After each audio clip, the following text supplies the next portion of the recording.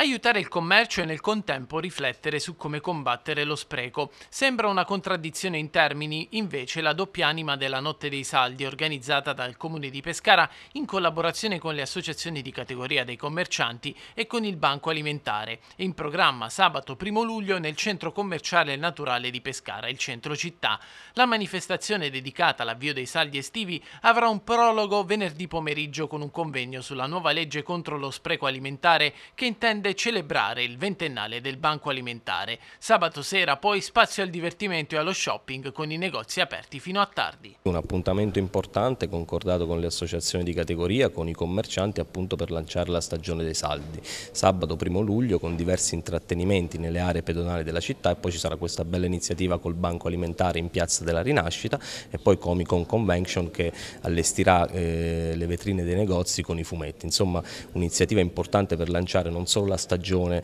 con un calendario ricco di appuntamenti nella città di Pescara che proseguirà per tutta l'estate ma anche per lanciare la stagione dei saldi eh, che è un dato fondamentale per una città che vive di commercio come la nostra. Focus sul centro commerciale naturale, insomma è sempre lì l'argomento eh, dare una mano a questi imprenditori che continuano a restare in città e a fare economia per Pescara. Sì sicuramente, questo è un aspetto del centro commerciale naturale, noi abbiamo programmato e organizzato diverse iniziative nell'estate, quindi questa del notte dello shopping, ci sarà la notte bianca dell'Adriatico il 22 luglio, il 12 agosto un'altra notte dello shopping che avrà più la forma di un evento eh, diffuso eh, e poi abbiamo messo delle risorse importanti, 50.000 euro per la creazione del centro commerciale naturale che da un'unione di intenti diventerà una vera e propria realtà che concluderemo insomma entro la fine dell'estate per poi lanciarlo con diverse iniziative come Luci d'Artista per la fine dell'anno.